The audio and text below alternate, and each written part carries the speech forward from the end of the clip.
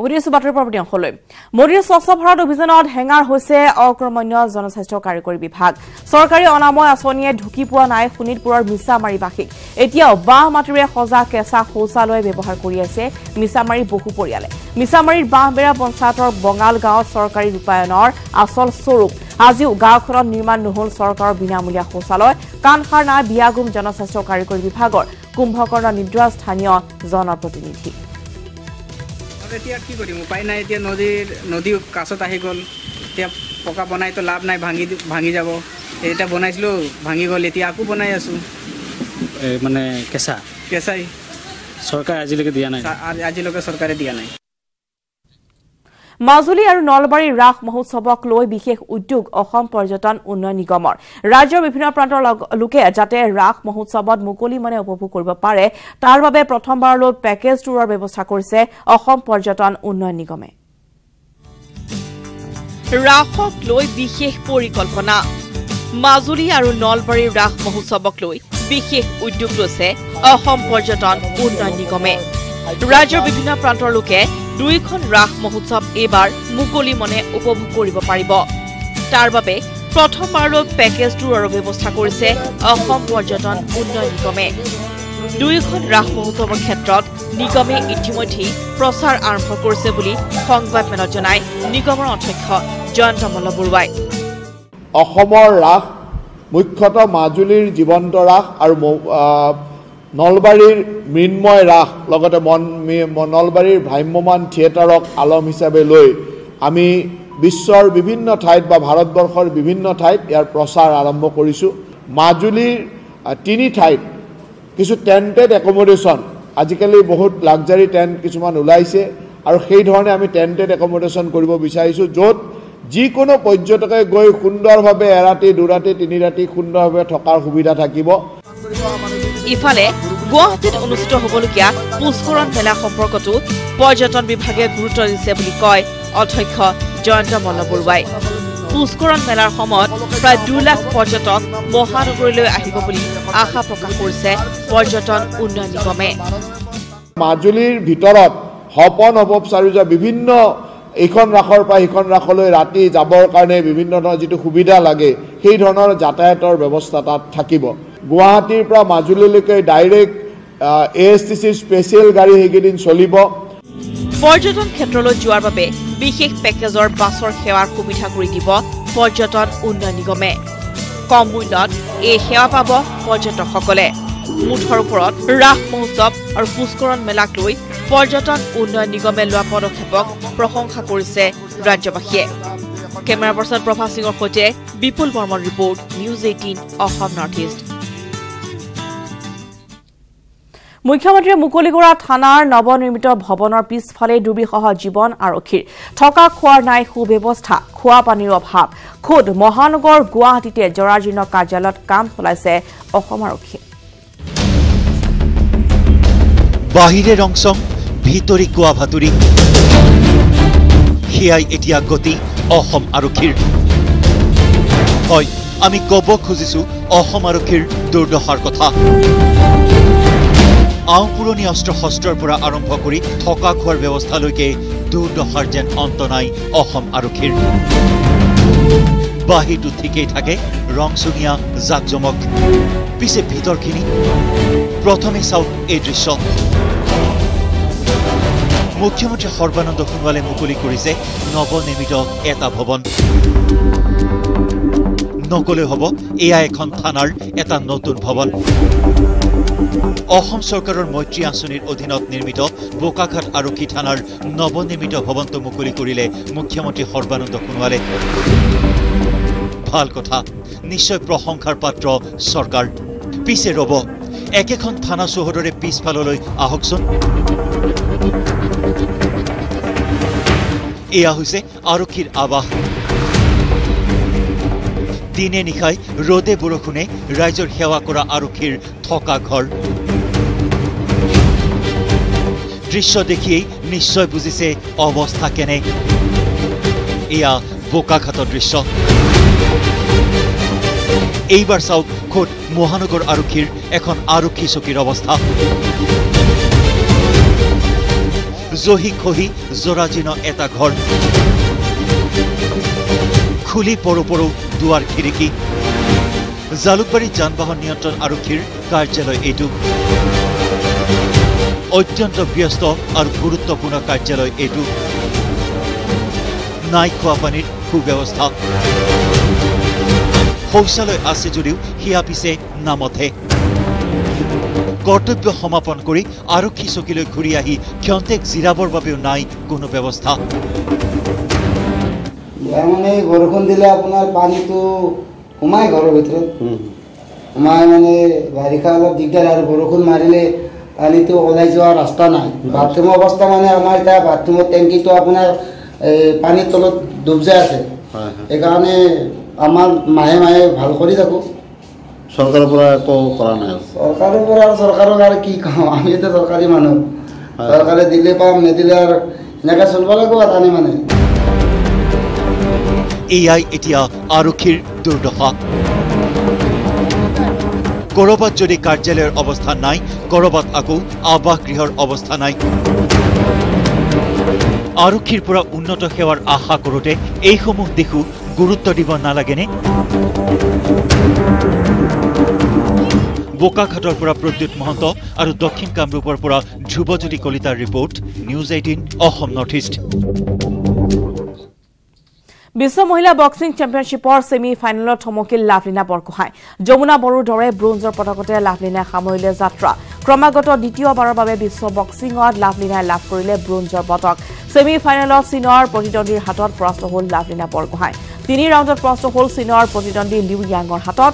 ঊনসত্তৰ কেজি শাখাত প্ৰতিদ্বন্দ্বিতা কৰিছিল লাভলীনা বৰগোহাঁয়ে ৰাছিয়াৰ য়েকেটাৰিনবাৰ্গত চলি থকা বিশ্ব মহিলা বক্সিং চেম্পিয়নশ্বিপত অসম সন্তানে লাভ কৰিলে দুটাকৈ ব্ৰোঞ্জৰ পদক।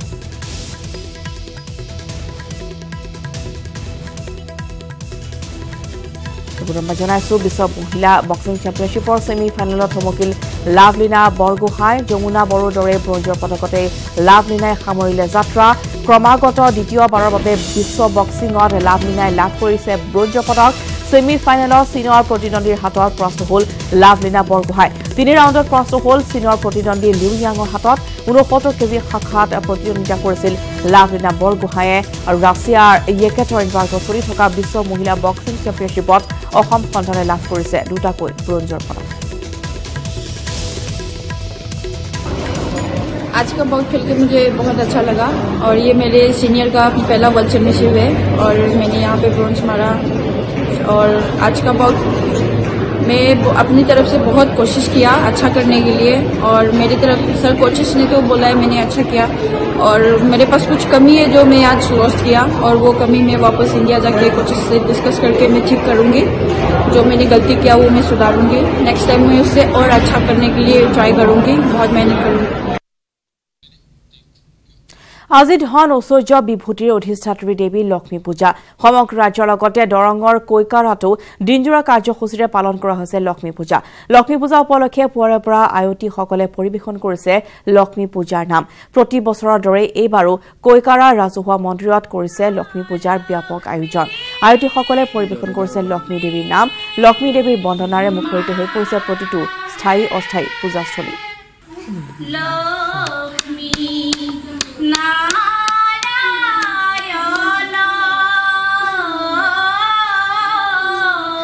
আৰু এইখন আগবঢ়াইছো। মংগলৰ পৰা নৱজ্যোতি মহন্তৰ এক ৰিপৰ্ট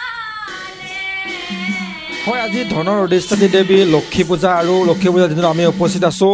দৰং জিলাৰ চিপাঝাৰৰ এই কৈকাৰা গাঁৱত আৰু ইতিমধ্যে দেখিবলৈ পোৱা গৈছে কৈকাৰা গাঁৱৰ যি ৰাজহুৱা মন্দিৰত তেওঁলোকে মহিলাসকলে আয়তীসকলে আয়তীসকলে নাম পৰিৱেশন কৰিছে লক্ষী দেৱীক আৰাধনা তেওঁলোকে কৰিছে। আমি নিশ্চয় দেখুৱাম তাৰপিছত ৰমেশে দেখুৱাব। এয়া লক্ষী দেৱীক তেওঁলোকে আৰাধনা কৰিছে লক্ষী দেৱীৰ নাম তেওঁলোকে পৰিৱেশন কৰিছে। আমি নিশ্চয় দেখুৱাইছোঁ।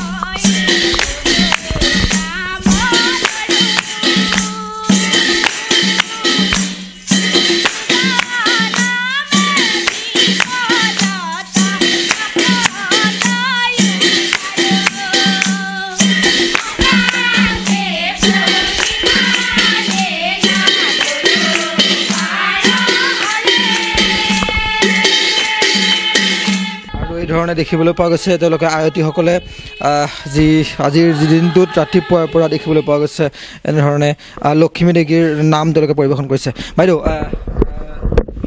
নাম হয়।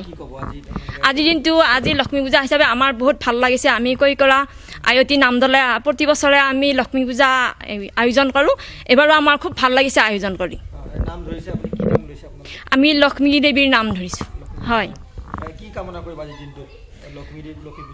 আজি লক্ষ্মী পূজা হিচাপে আমি প্ৰতি ঘৰৰে মানে এই লক্ষ্মীয়ে মানে হেৰি স্থিতি হওক সেইটোৱে আমি কামনা কৰিছোঁ।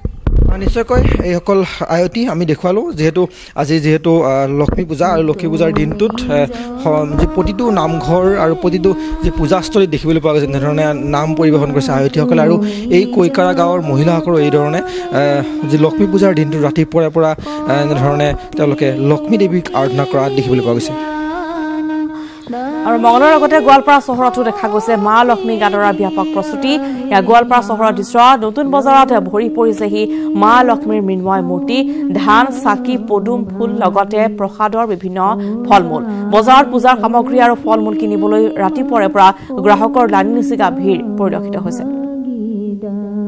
গোৱালপাৰা চহৰৰ এই দৃশ্য আমি দেখুৱাইছো। নতুন বজাৰত এনেদৰে পূজাৰ নৈবদ্যৰে বজাৰ ভৰি পৰিছেহি আৰু ঘৰত লক্ষ্মীৰ এটি মূৰ্তি প্ৰতিষ্ঠা কৰিবলৈ এনেদৰে গ্ৰাহকসকলে ওলাই আহিছে। সৰু বৰ নানা ধৰণৰ মূৰ্তি বৰ্তমান উভৈনদী হৈ পৰিছে। গোৱালপাৰা বজাৰত সমান্তৰালভাৱে ধানৰ সি আৰু পূজাৰ যিসমূহ অত্যাৱশ্যকীয় সা সামগ্ৰী ফল মূল পদুম ফুল ভেট ফুল এনেদৰে সকলো উভৈনদী হৈ পৰিছে। বজাৰসমূহত গোৱালপাৰা নতুন বজাৰতো এনেদৰে পুৱাৰ পৰা গ্ৰাহকৰ ভিৰ পৰিলক্ষিত হৈছে। লক্ষ্মীক আৰাধনা কৰাৰ বাবে লক্ষ্মীক আদৰাৰ বাবে ঘৰে ঘৰে চলিছে প্ৰস্তুতি আৰু সেইবাবে গোৱালপাৰাতো বজাৰতো এতিয়া গ্ৰাহকৰ ভিৰ পৰিলক্ষিত হৈছে। লক্ষ্মী পূজা বুলি দৰে ৰাজ্যৰ লগতে ভাৰতবৰ্ষৰ বিভিন্ন প্ৰান্তত ভক্তৰ সোঁত বয় মৰিয়নিৰ গাভৰু পৰ্বতলৈ। গাভৰু পৰ্বতৰ চিৰসেউজ প্ৰাকৃতিক শোভাৰ মাজত অৱস্থিত লক্ষ্মী মন্দিৰৰ প্ৰাংগণত অনুষ্ঠিত লক্ষ্মী পূজা ভাগক ভক্তক আকৰ্ষিত কৰি আহিছে। প্ৰবাদ অনুসৰি গাভৰু পৰ্বত চাহ বাগিচাত কৰ্মৰত যুগল কিশোৰ শৰ্মা নামৰ এজন পৰিচালকক সপোনত লক্ষ্মী দেৱী আৱিৰ্ভাৱ হৈ গাভৰু পৰ্বতত ৰাজ্যৰ কল্যাণৰ বাবে দেৱী লক্ষ্মীৰ আৰাধনা কৰিবলৈ দেখুৱায়। সেই সপোন দেখাৰ পিছতে ঊনৈছশ বাৱন্ন চনৰ পৰা গাভৰু পৰ্বতত লক্ষ্মী পূজা অনুষ্ঠিত হৈ আহিছে। উল্লেখযোগ্য যে সচৰাচৰ লক্ষ্মী দেৱীৰ মূৰ্তিতকৈ গাভৰু পৰ্বতৰ লক্ষ্মী মন্দিৰৰ মূৰ্তি বহু পৰিমাণে পৃথক। কিয়নো যুগল শৰ্মাই মূৰ্তিৰ সপোনত কোন আকাৰত দেখিছিল সেয়া অংকন কৰি লক্ষ্মীৰ প্ৰতিমা ভাগ স্থাপন কৰিছিল। গাভৰু পৰ্বতৰ লক্ষ্মী পূজা ভাগ জাগ্ৰত বুলি ভক্তৰ অগাধ বিশ্বাস প্ৰচলিত হৈ অহাৰ বাবে দিনক দিনে গাভৰু পৰ্বতৰ লক্ষ্মী পূজা দৰ্শনৰ বাবে ভক্তৰ সংখ্যা বৃদ্ধি পাবলৈ লৈছে। সম্প্ৰীতি পৰ্যটকৰ বাবেও আকৰ্ষণৰ কেন্দ্ৰবিন্দু হৈ পৰিছে গাভৰু পৰ্বতৰ ঐতিহাসিক লক্ষ্মী পূজা। শ্ৰী শ্ৰী লক্ষ্মী পূজাৰ স্থলীত অগণন ভক্তই ইয়াত আহি পেলাই পুষ্প অৰ্ঘ দি পেলাই আৰু নৈবিদ্য বন্তি দি পেলাই শৰ্ণাপন্ন হৈছে। আৰু বহুত দূৰ দূৰণিৰ পৰা আহি পেলাই ইয়াত ভক্তই দুদিন তিনিদিন আগৰ পৰাই সমাগম হয়হি। এতিয়া আগবাঢ়িছো অন্যান্য খবৰৰ মাছলৈ মংগলদৈৰ তেলিপাৰাত পথ দুৰ্ঘটনাত গুৰুতৰভাৱে আহত হৈছে তিনিজনকৈ বাইক আৰোহী। আহত তিনিজন হৈছে অমৰজিৎ বসু হাছিমুদ্দিন আহমেদ আৰু চাহাবুদ্দিন আহমেদ। তেলিপাৰা মংগলদৈ ভুটিয়াচাং পথত সংঘটিত হৈছে দুৰ্ঘটনা। আহতসকলৰ দুজনক জি এম চি এইচলৈ প্ৰেৰণ কৰা হৈছে। পালচাৰ বাইক আৰু স্কুটিৰ মাজত মুখামুখি সংঘৰ্ষৰ ফলতে আহত হৈছে লোককেইজন আহত এজন মংগলদৈ অসামৰিক চিকিৎসালয়ত চিকিৎসাধীন হৈ আছে।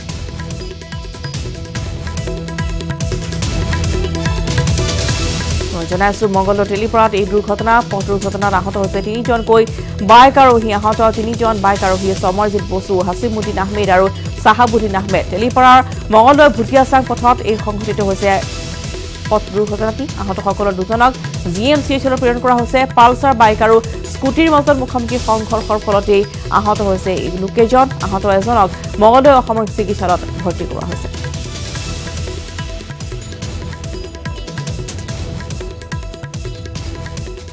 সুধিছো বাতৰি পৰৱৰ্তী অংশলৈ। গ্ৰামাঞ্চলৰ স্বাস্থ্য খণ্ডৰ অচলাৱস্থা এজন কৰ্মচাৰীৰে চলিছে বৰচলাৰ শিঙৰি ৰাজ্যিক পশু চিকিৎসালয়। চিকিৎসকৰ অনিয়মীয়া উপস্থিতিত ক্ষোভ উচাৰিছে স্থানীয় কৃষক ৰাইজে। চিকিৎসালয়খনৰ পৰা শিঙৰি অঞ্চলৰ ৰাইজে উপযুক্ত সুবিধা নাপায় বুলি অভিযোগ উত্থাপন হৈছে। এগৰাকী চিকিৎসক আছে যদিও তেওঁ প্ৰায় কৰ্তব্যত অনিয়মীয়া উপস্থিতি। বৃহত্তৰ অঞ্চলটোৰ পশুপালন কৰা লোকসকলে এই পশু চিকিৎসালয়খনত চিকিৎসক নথকাৰ বাবে সমস্যাৰ সন্মুখীন হৈ আহিবলগীয়া হৈছে। এনেদৰে স্বাস্থ্য খণ্ডৰ অচলাৱস্থা গ্ৰামাঞ্চলৰ এজন কৰ্মচাৰীৰে চলিছে বৰচলাৰ শিঙৰি ৰাজ্যিক পশু চিকিৎসালয়। চিকিৎসকৰ অনিয়মীয়া উপস্থিতিত দিয়া ক্ষোভ প্ৰকাশ কৰিছে স্থানীয় কৃষক ৰাইজে। চিকিৎসালয়খনৰ পৰা শিঙৰি অঞ্চলৰ ৰাইজে উপযুক্ত সুবিধা নাপায় বুলি অভিযোগ তুলিছে। এগৰাকী চিকিৎসক আছে যদিও তেওঁৰ উপস্থিতি অতি অনিয়মীয়া। বৃহত্তৰ অঞ্চলটোৰ পশুপালন কৰা লোকসকলে এই পশু চিকিৎসালয়খনত চিকিৎসক নথকাৰ বাবে যথেষ্ট সমস্যাৰ সন্মুখীন হৈ আহি আছে।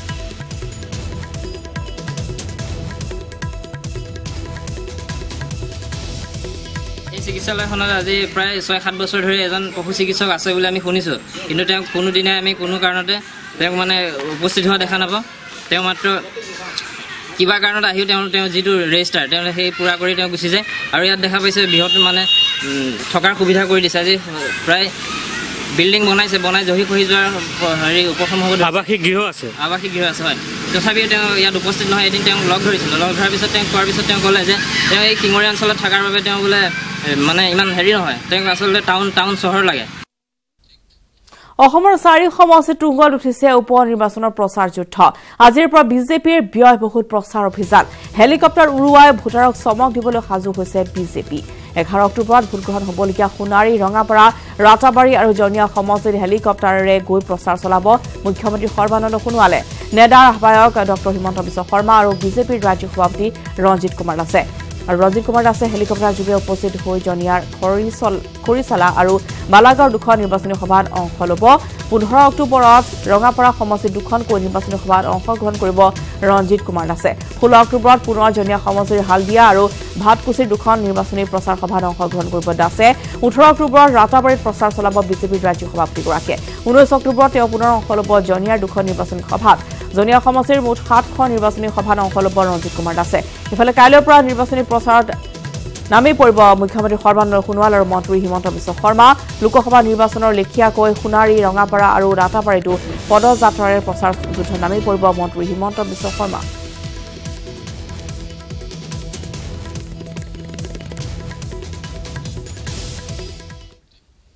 এইবাৰ জিভা পিছল খালে অসম প্ৰদেশ কংগ্ৰেছৰ সভাপতি ৰিপুণ বৰাৰ। কংগ্ৰেছৰ মনোনীত প্ৰাৰ্থী কাৰ্তিক কুৰ্মীৰ হৈ ৰঙাপাৰা সমষ্টিৰ অন্তৰ্গত চলা গাঁৱৰ বায়ু সেনা বাহিনীৰ মুখ্য কাৰ্যালয় সমীপত নিৰ্বাচনী প্ৰচাৰ চলাবলৈ আহি দুহেজাৰ একৈশ চনত পুনৰ বিজেপি দলক জয়ী কৰি আনিব লাগিব বুলি ক'লে অসম প্ৰদেশ কংগ্ৰেছৰ সভাপতিগৰাকীয়ে। আমি এতিয়া সুবিধা পাইছো আৰু এই সুবিধা এৰি দিব নালাগে বুলি বিজেপি দলক জয়ী কৰি আনিব লাগিব বুলি ক'লে ৰিপুণ বৰা বিভাৰ পিছত খালে এইবাৰ অসম প্ৰদেশ কংগ্ৰেছৰ সভাপতি ৰিপুণ বৰাৰ কংগ্ৰেছৰ মনোনীত প্ৰাৰ্থী কাৰ্তিক কুৰ্মীৰ হৈ ৰঙাপাৰা সমষ্টিৰ অন্তৰ্গত।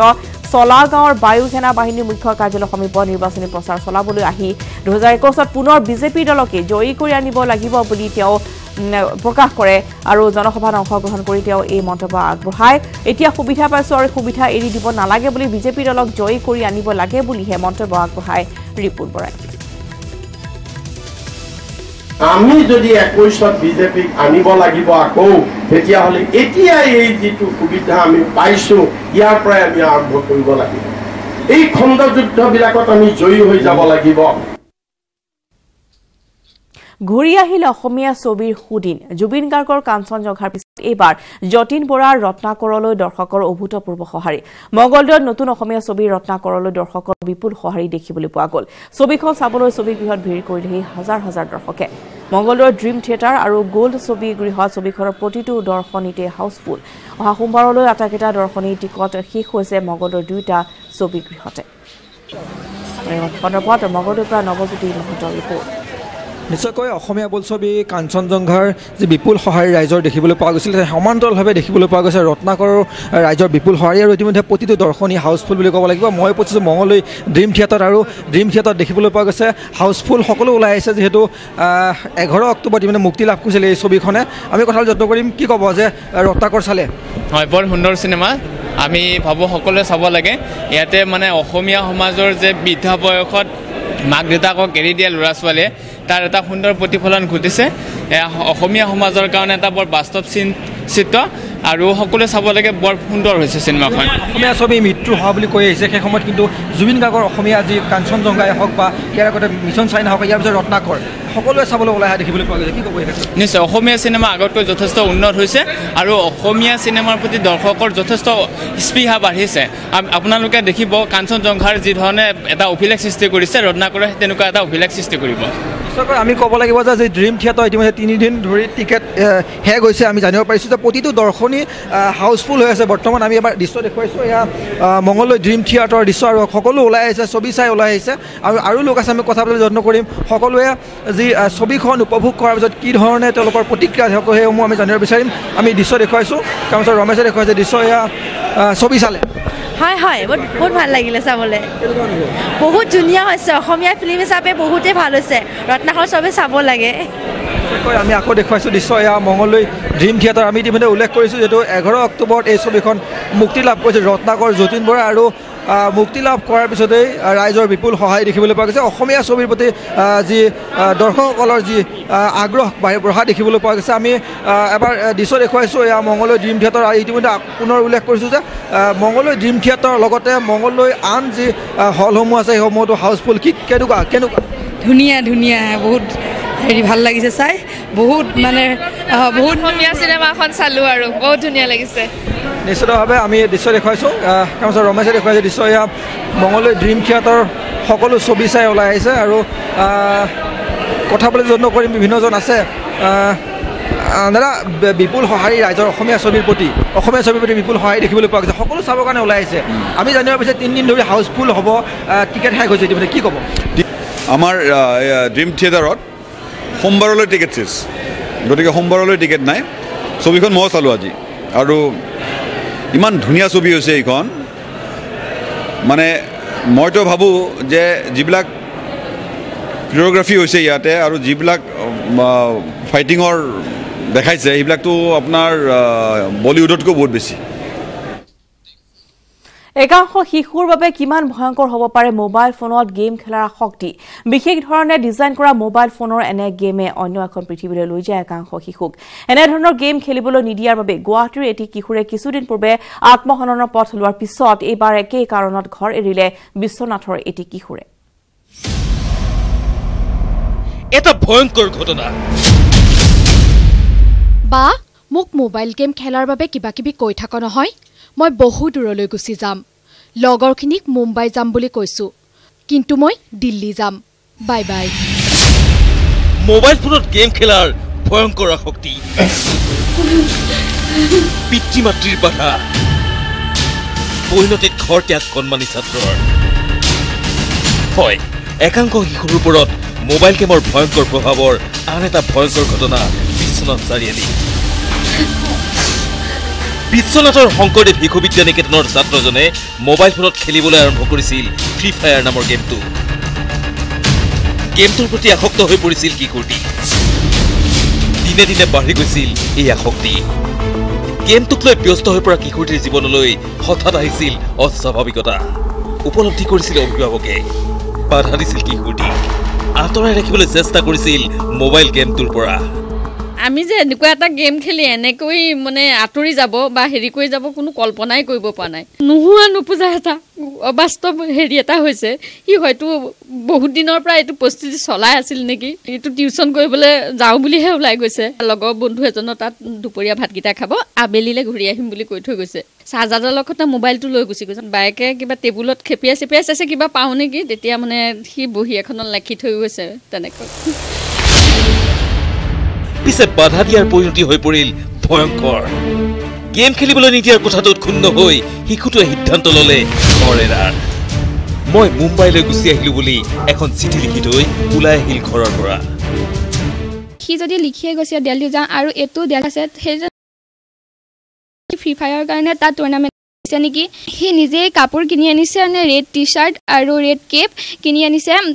সেইটো গেমৰে হ'ব চাগে। চব ৰেড আৰু ৰাতিটো খেলি আছে। ভাইটিকেইটাই চাইছে চাই দেখিছে সি অনলাইন গেম খেলিয়ে আছে। সিটো তেনে নিজেই যাব লাগিব সেইটো হেৰি কৰি আৰু কোনোবা থাকিবই লাগিব লগত। আৰু অকলে খেলা গেম নহয় চাৰিজন থাকিবই লাগিব গ্ৰুপত আৰু ইয়াৰ পিছতে এই শোকাকুল পৰিৱেশ।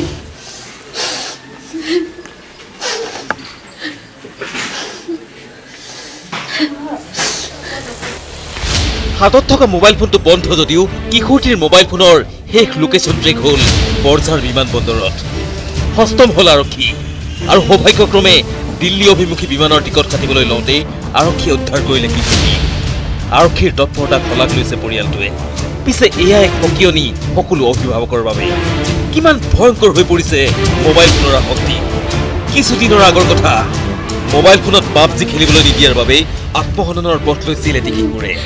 আৰু তাৰপিছত একেই কাৰণত ঘৰ এৰিলে বিশ্বনাথৰ এই কিশোৰটিয়ে বিশ্বনাথৰ পৰা Tushar Hazarika news eighteen Assam north east.